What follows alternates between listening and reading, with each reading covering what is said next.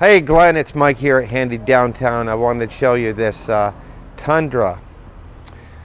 It's a nice looking truck, 5.7 liter V8. This is a 2013. This is called the double cab. Magnetic gray.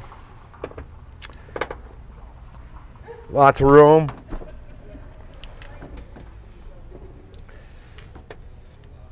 And I know most guys, you know, they don't care for carpet it, what carpeting, so you know this has got the regular rubber mats inside. You can just wipe them out.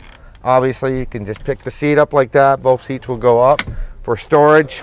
You got storage bins in the along along the side of the door.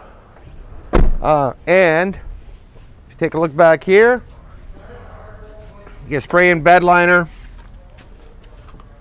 Very, very nice truck. Easy down tailgate.